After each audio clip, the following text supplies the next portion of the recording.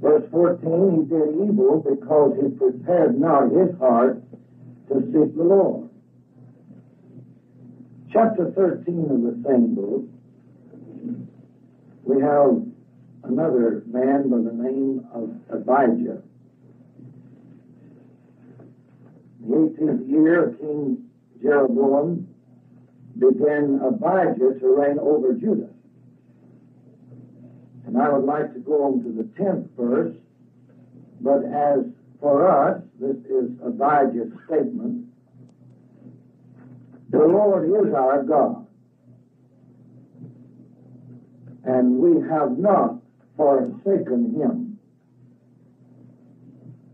Would you please again go to the 15th chapter of the same book, beginning at verse 10. This happens to be a man by the name of Asa. So they gathered themselves together at Jerusalem in the third month in the fifteenth year of the reign of Asa. And they offered unto the Lord the same time of the spoil which they had brought, seven hundred oxen and seven thousand sheep. And they entered into a covenant to seek the Lord God of their fathers with all their heart.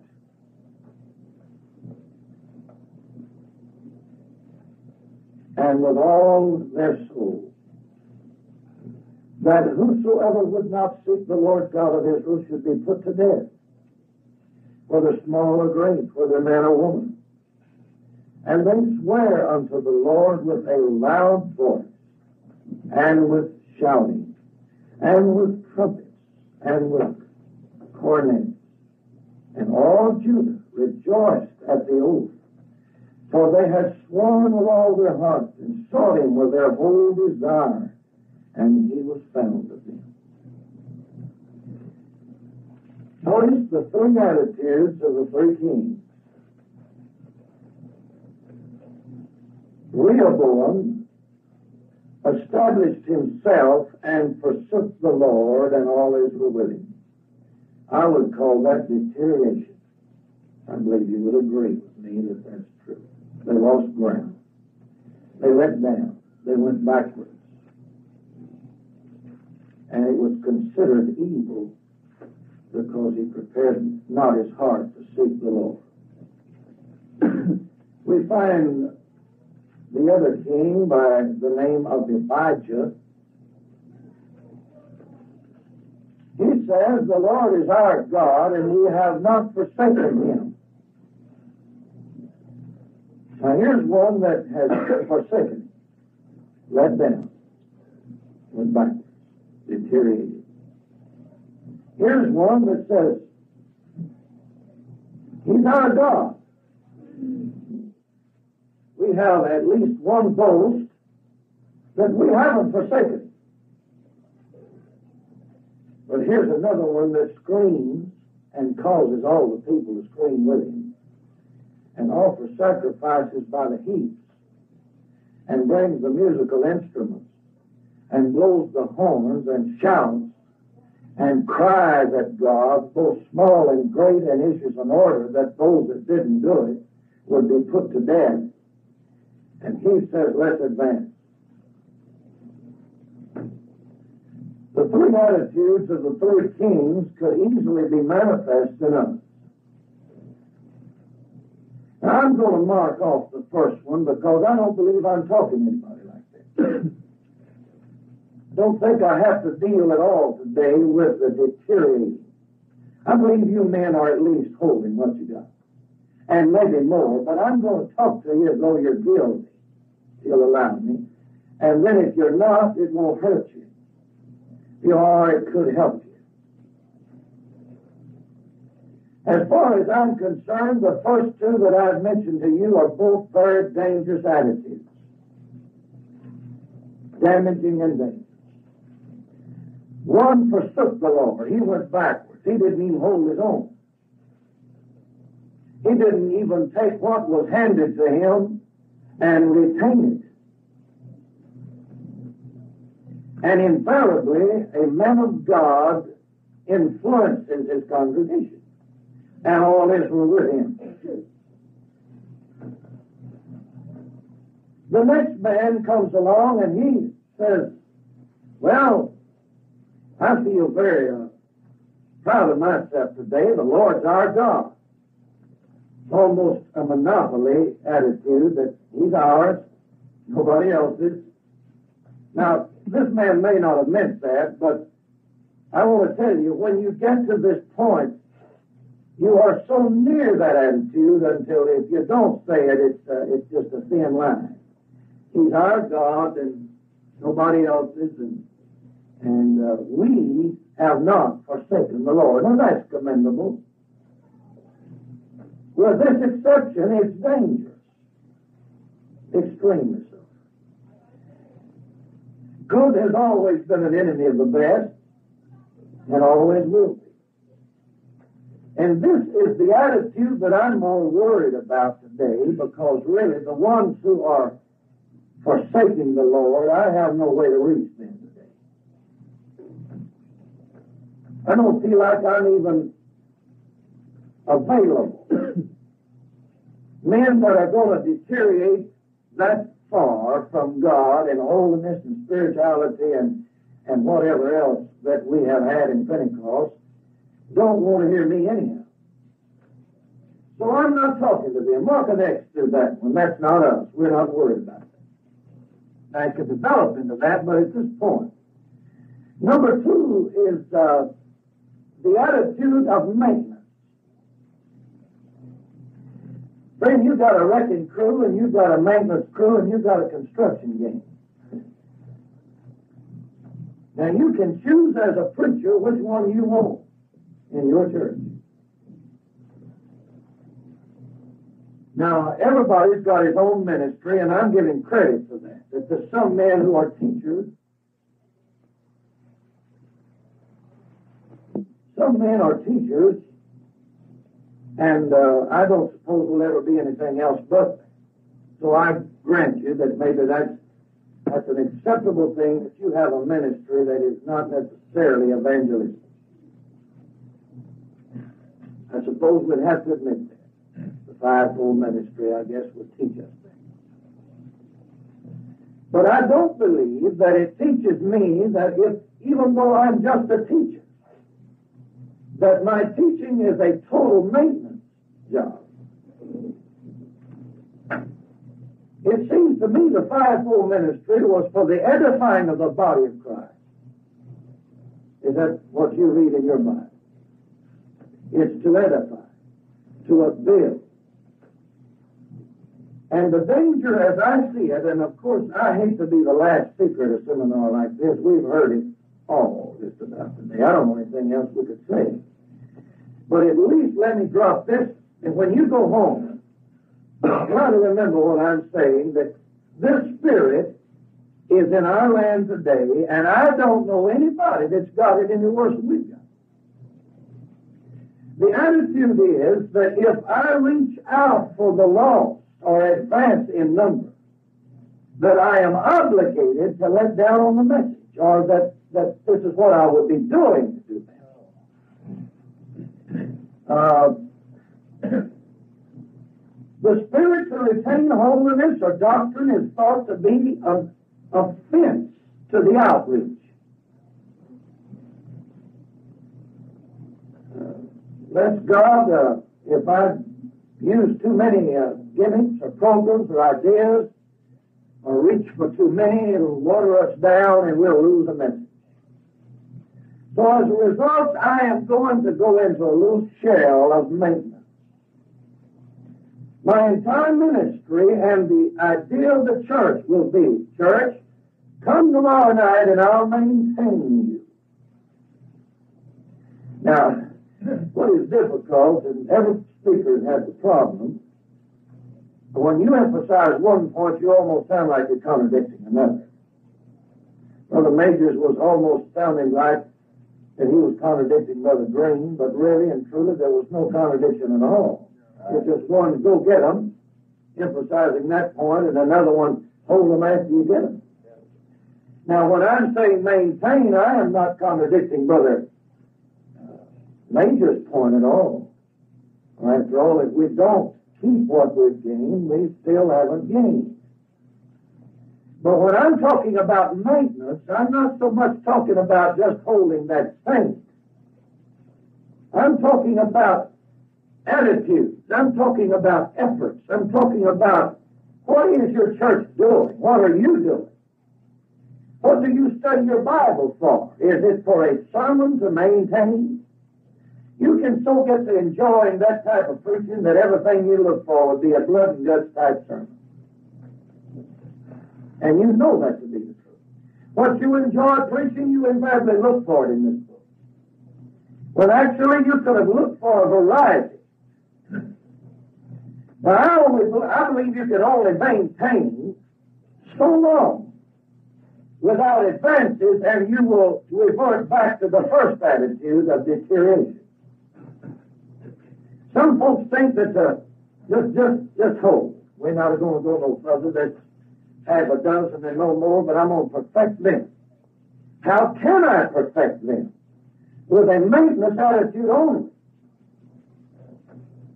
Perfection comes more than just saying, don't do this and don't do that and don't do the other, and we're not going to give up our message of holiness, and we're not going to give up this, and we're going to hold our line on this. Then after a while, people get to milling around and they get hungry. And the desire for excitement comes and the advancement desire is there because, to tell you the truth, the Holy Ghost that you get desires advancement. And if that Holy Ghost is going to work in your life very much, it's going to tell you something to do that will advance your church and your cause. Or should I say the cause of God. I, uh, I fear more than anything else among us today, and maybe I should. Maybe I'm in the wrong place. But I fear the desire to maintain has hindered us in our advancement. Now, what I can do this year will be determined by what I it out of here and from anyone else and from God in prayer. And I'm going to have to shut off some attitudes. I'm going to have to get rid of some things. I saw myself reflected today many times. And um, many times I was sad over it. I have to say that uh, it seemed that every message has brought me a flesh with a zeal and desire to do something there. But the Spirit has a way of getting away from it. Functions and desires have a way of leaving. Especially if the old rut of maintenance has been the place you've dwelt so long. You're going to slip back in there. You're going to have the tendency to forget any inspirational thoughts you've had and say, uh, well, at least I'm holding my own. At least uh, I'm still got 150 Sunday school. Whatever. How can I face the eternal God and a world that's lost and relax myself to the status quo and say, that's all I want. And I'm scared of anything else. And I appreciate every attitude today. When they referred to promotional ideas, they at least gave them credit for what they do. Not being the total answer, but giving credit. We had 528 in Sunday school three Sundays ago, I believe it was.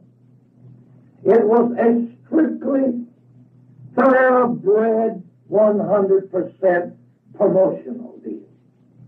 We just simply gave candy and gifts and bicycle and and paraphernalia and money hunts. We had the work.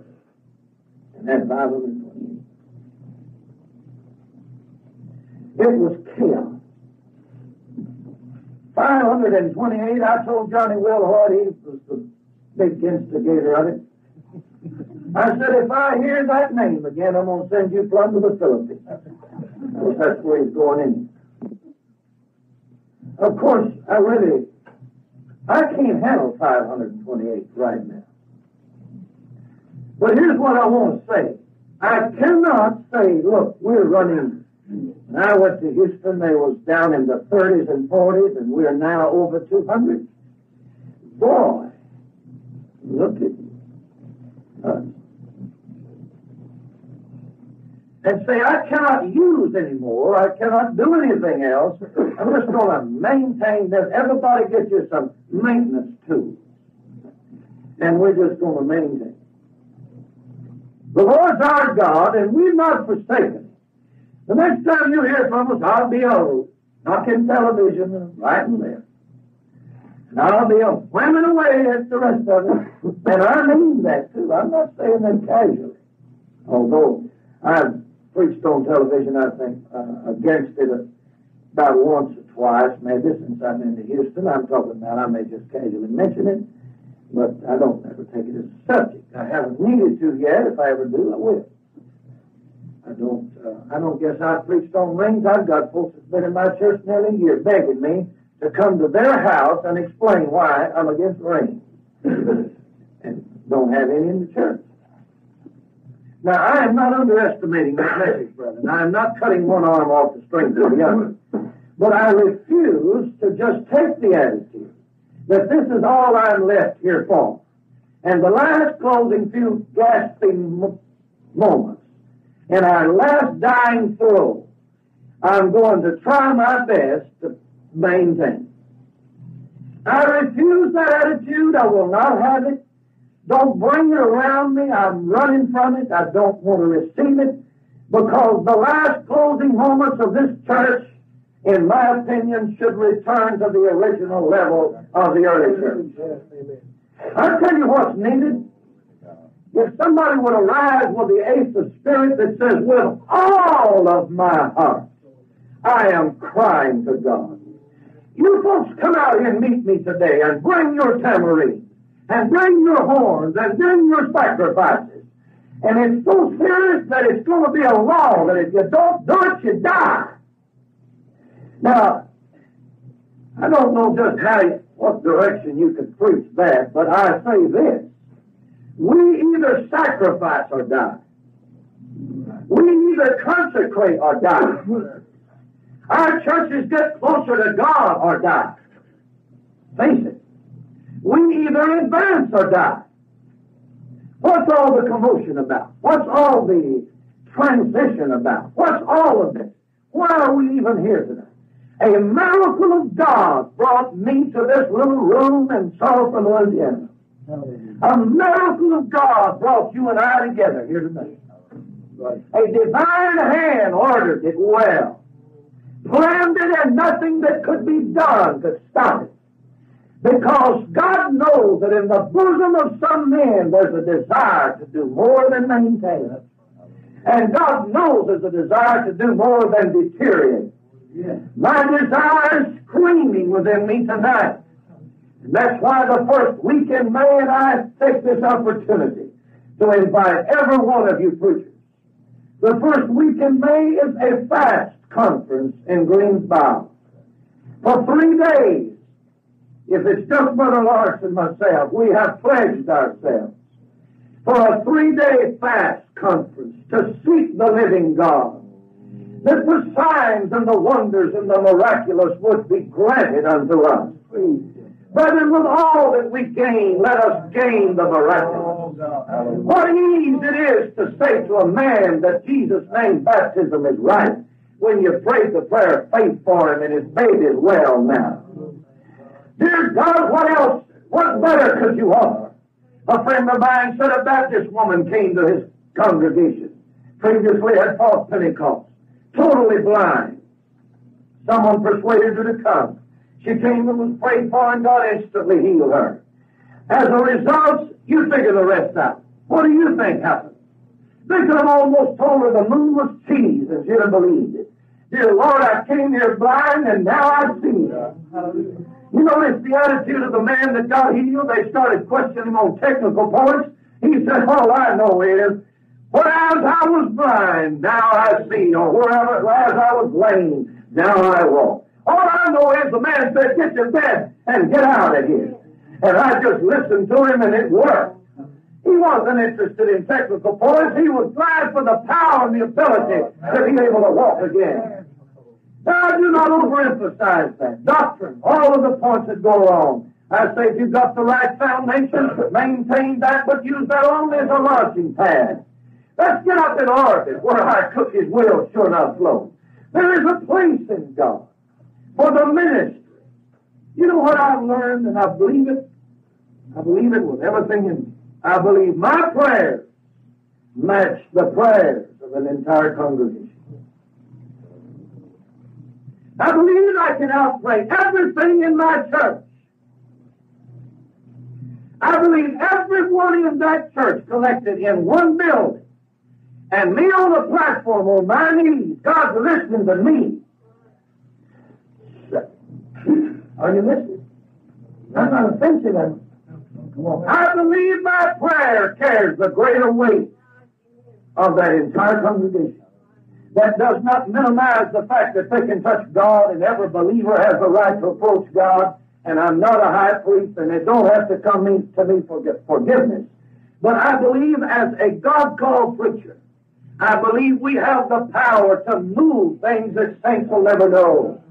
God has to honor us in that manner. He couldn't have put, if we've got any stripes, if we've got any bars on our lapel, if, if there is an honor to the ministry, there's got to be some way or another. As a friend of the bridegroom that I have the right and privilege of approach that the bride doesn't have until the climax of the wedding. It is certainly, I feel with all assurance, that when a preacher touches God, it's equivalent to a whole church.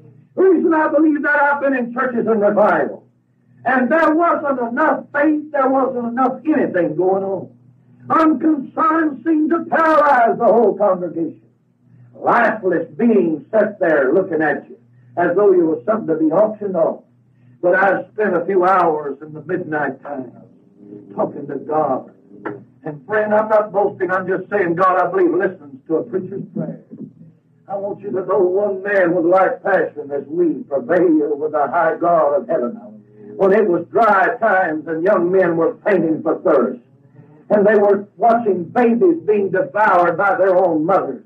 Critical moments, and the old prophet sat down on the hillside and shook the dust out of his mantle. It had been dry so long. It was time to not maintain but advance. And he said, O King of Israel, O God of heaven, O King of the saints, bow down your ear and send us some rain. I want you to know it didn't make any difference what existed. That old boy's prayer reached the heart of God. And I believe when preachers pray, my own personal experience is this. I have gone to services and promoted worship and didn't get it like it needed to be. You know what happened? I was asking him to do something I didn't really have myself that night.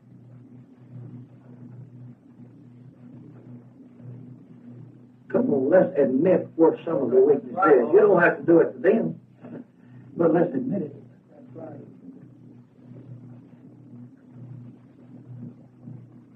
Let's be honest. There are times when the insufficiency dwells in us. We've been too busy. And Brother Lee, I've gone aside after recognizing I felt like I lost that night. I thought I lost on a certain front. And I can't stand it. Something in me screams, I can't stand it. And I'm going along with God and I mean dug in myself and the next night I didn't ask them to worship the flow was so great in me, it, it bursted out, and as a result, they just simply did it. I believe when I'm in touch and plugged up like I ought to be plugged up, not every time, I certainly recognize that. But there is a great value in my reaching God and being on fire for God. It's dangerous when a man learns to promote prayer in his church and don't know how to pray himself. It's dangerous for a man to learn to promote worship, and he doesn't do it himself. And there are men that can do that. I'm talking about they can move a church for any direction they want to go, and then back off and relax and not do a thing about it. They've got the ability. But I tell you what he's doing, he's endangering himself to fall. That's all I'm stuck to say, is fall. Because you've got to have a personal devotion yourself to be saved. There comes a time when you need to forget congregation, family, sinner, everybody and get along with God and get your soul soaked up with the good presence of Almighty God. I say it's consecration, advance or die. The children will die. The women will die. The men would die. The order was, come with your sacrifice. We're not going to deteriorate and we're not going to maintain. Because we're going beyond what any king's ever done before us. We're going to call a sacrifice like never been known. We're screaming at God. The Bible said they got out there and shouted aloud and, and conceived an oath that between their heart and God that we're going to get closer to you. We're going to do more for you. We're going to have more from you. And the Bible said God heard them. I believe He still hears. I believe we can still attain mighty revival. I'm talking about uh, when I say 83 through, pardon that small number compared to what God wants to do in the last days. We lack if God don't perform a miracle, we lack yet five to ten years to recover what the status quo attitude has destroyed. I've had young men to come to me as sincere as they could be and say, Brother Bean, I'm trying to believe that you really did have 80 praisers. Can't believe. Another one said, Yeah, but 80 went back too, didn't they? I, mean, they me. Impossible to have it result. Where did this come from? You know where it came from? It started with a maintenance and went to beyond that point to deterioration. I'm saying, brethren, you can be satisfied. I preached in a church one time, and uh, they had heard holiness. They had heard all of these. That's all they had. It was become a competitive thing that the man that preached for him had to preach harder than he did. And then when he left, he had to try to match that. Now, that's become a game. You know, that's that's right. That's not. Uh, that's really. That's not even maintaining. That's a game. Who can preach the hardest, or who can, you know? And uh, you know, I believe in holiness. I refuse anything. I believe anybody that knows knows I believe that, and I am not opposing preaching it. And I've done, and I've done it as hard as anybody. But I refuse to confine myself to that total ministry. I don't have to. I found out that a lot of the maintenance, just a good oiling will keep you from having a of maintenance. If you'll just keep the power of God flowing, that won't be the total solution, but it'll help a lot. I don't believe in just keeping them worship, never preach against anything, does it? It'll creep in anyhow.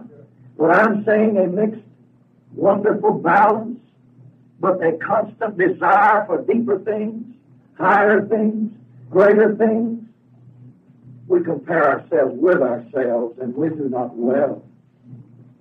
This makes us maintain. This makes us settle down. We get in a vicious circle of saying, my neighbor's got, and then you got, well, I got two, twenty, two, three now. Well, I mean, you got, well, I got two fifty. Well, I mean, this is what. And we got in a vicious cycle, or we can, let's put it that way. Then we compare ourselves with ourselves. Now, I asked Sunday school record attendance myself about reaching the lost.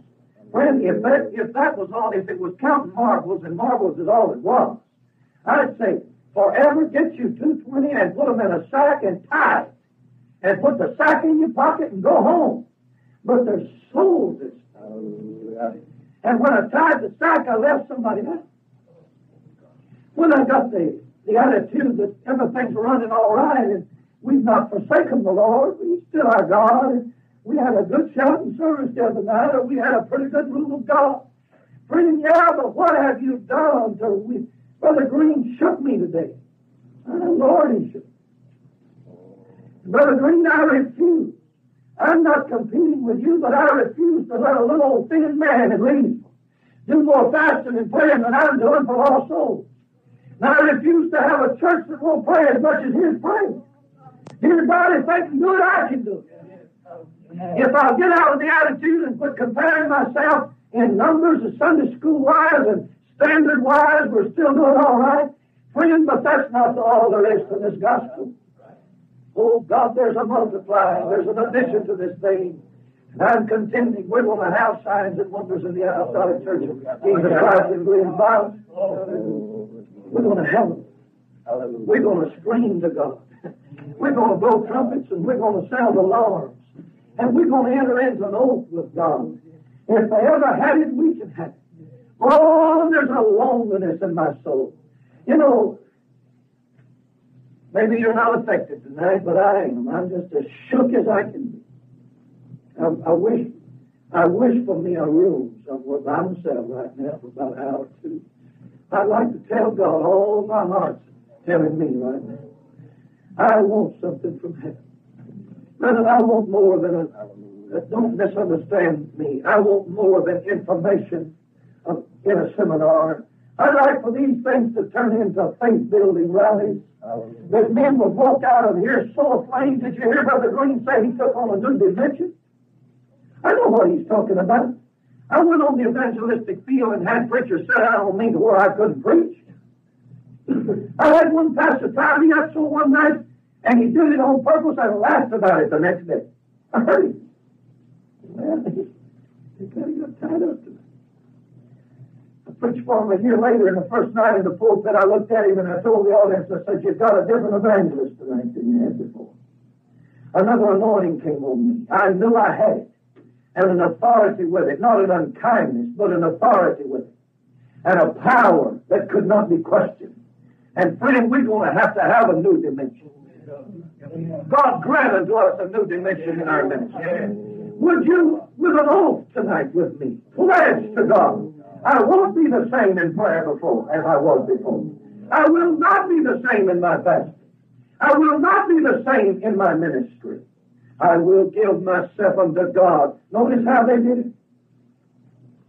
Would you please notice the wording? Entered into a covenant to seek the Lord God of their fathers with all their heart and with all their soul.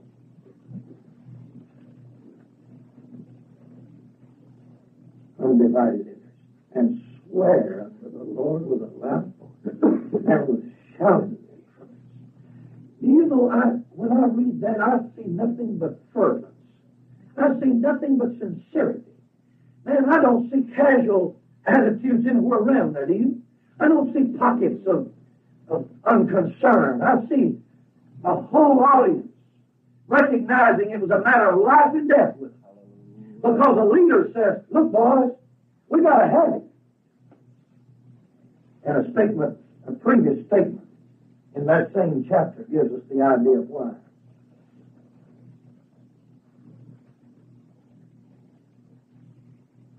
An old prophet came along and told this man this. He went out to Asa and said, and hear, hear me. The Lord is with you while you be with him. If you'll seek him, he'll be found. Now, for a long season, Israel had been without the true God. And this desperation grabbed Asa because he suddenly realized for a long time we haven't seen what we need to see. And he said, boys, it's life or death now. You can you can casually sh- shove it aside and say, I'll get to that later. Brethren, when it comes to the miraculous and divine healing, faith and power and consecration, we make jokes out of the whole thing. But I beg you to seriously consider that it's life and death now. If I survive, I advance. I highly commend David. I feel a whole lot like the old boy. Man, read it for yourself sometime. It's an interesting story, and it fits me because I guess at times I'm a little sentimental. Here he was in the midst of a heated battle, but previous verses tell me that he had won successful victories, great victories. Multitudes gathered unto him themselves to him to help him the fight. He had prospered, the Bible says, greatly. And notice this success. uh, prospered, numbers added, great numbers. Won great victories, the Bible says. But he was sitting there and he got to thinking about that old well at the gate. Amen. Now don't tell me he didn't have any water. I believe he did.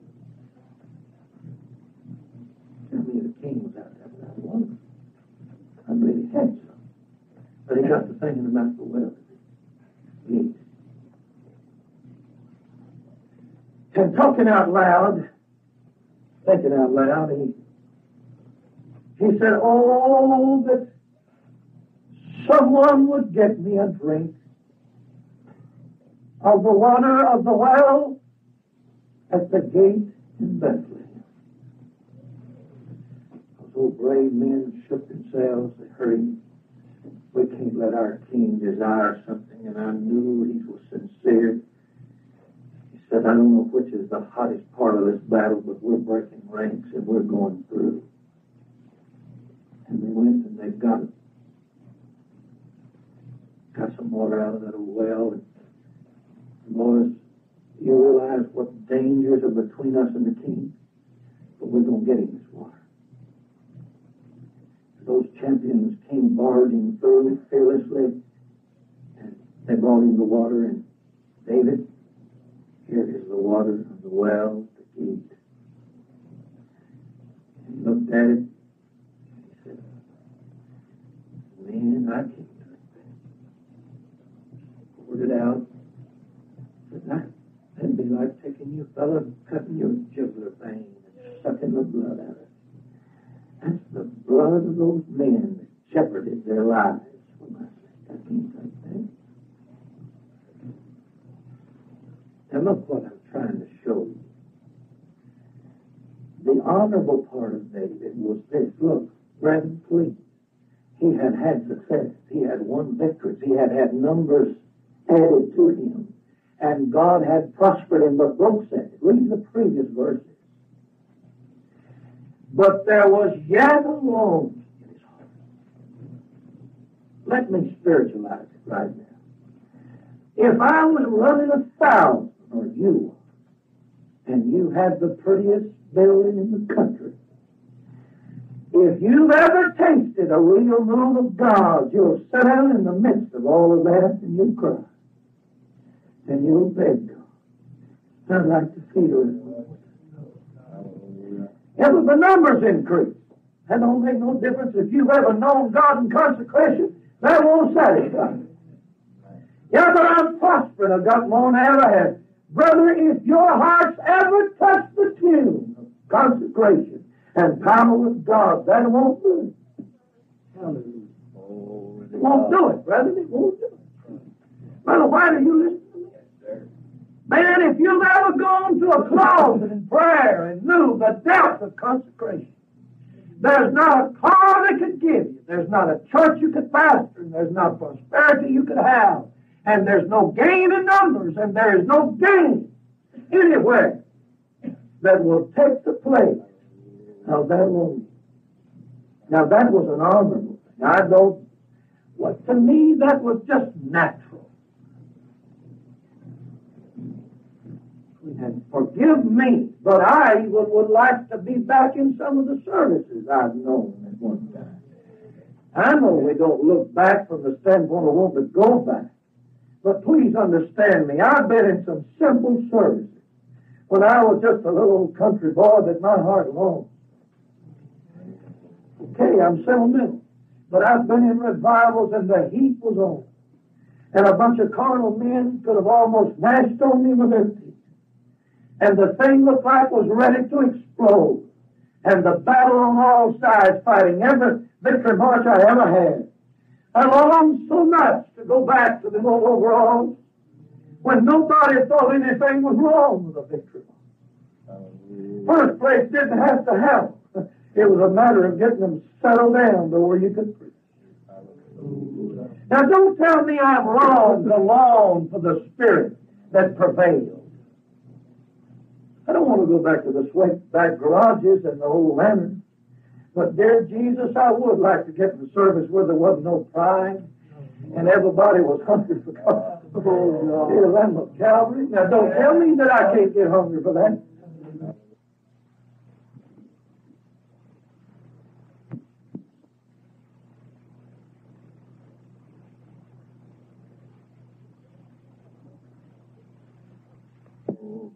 But on the other hand, here is the mistake David made, and please, please, would you admit if you've made it, would you say, God forgive me for the same mistake?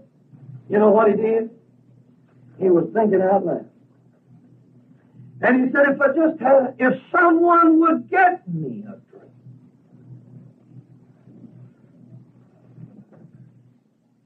And he's prospered and gained numbers and should be satisfied, but he's not. At least the hunger was there. But brethren, I'm trying to drive a point. I don't know if you're catching it or not. He was, he was advanced beyond the stage of maintenance, at least in desire. Now, I got that today. I'm just a Chloe, man. I'm, I thought I was tired, but I feel better. Dear Lord, I want to go home and have a revival so bad I can't stand. Oh,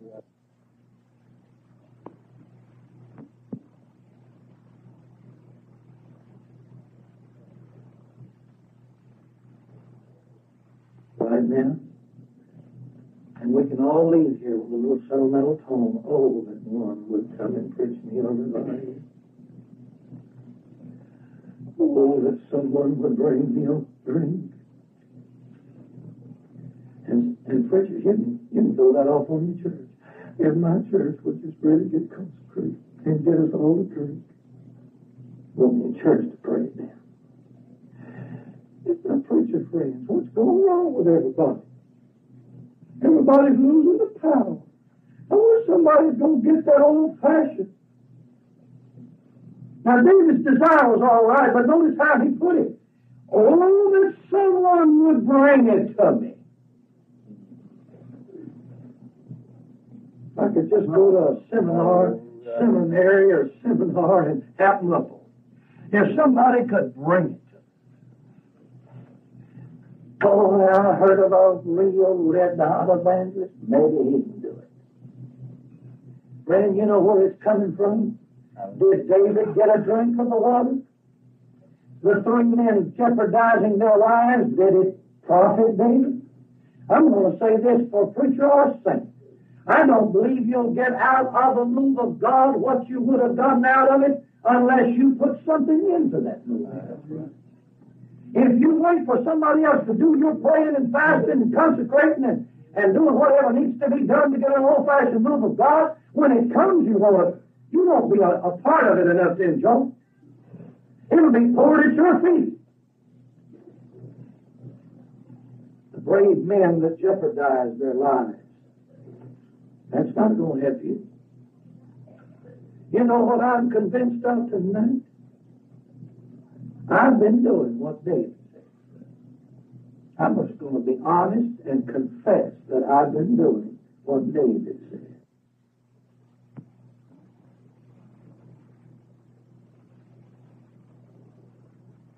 Myself. Praise God forevermore. Friend, I refuse to be anything less than a nation. I am going to have a revival. I'm going to have a of God. And when the seminar is over with and when we have gone home, I'm still going to have a revival. I refuse to wait on any preacher to come and produce it. I welcome them, I want them, and I need them. But I don't want him to just come and sit down there and wait till he gets there and try to get him to stir me. Please, God, help me to get a hold of something tonight that will advance. Can you say amen to that? Amen. Praise God. Oh, thank God.